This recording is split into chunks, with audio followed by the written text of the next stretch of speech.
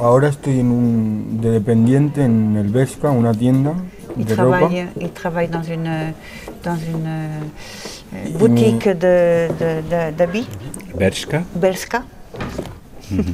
Y mi proyecto es pues formarme un poco más en esa tienda, porque esa tienda es de una fundación que, que trabaja con gente de- con discapacidad también y estar un tiempo más ahí y para, para poder ir a una empresa ordinaria. Voilà, c'est une entreprise qui, qui, qui aide aussi les personnes euh, avec euh, un handicap, mais il aimerait euh, se former bien dans cette entreprise et puis ensuite sauter euh, au travail communautaire, Sí. non protégé.